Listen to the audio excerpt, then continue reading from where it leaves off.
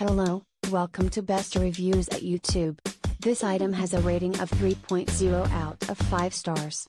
A customer wrote, Great eyelashes but I just went to the store and got these same ones with the applicator for $9. Great eyelashes but I just went to the store and, yaw exclamation mark dot 5 stars dot dot thank you for watching. Please give the thumbs up.